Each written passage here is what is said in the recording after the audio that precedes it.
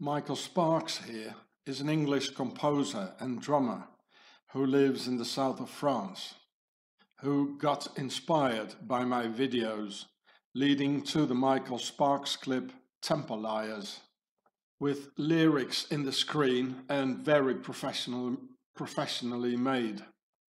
So go check out his clip and tell him in the comments he should do a Swiss Beast song next. Here you can see Michael is a puppet on drums. I give it to him, Mike.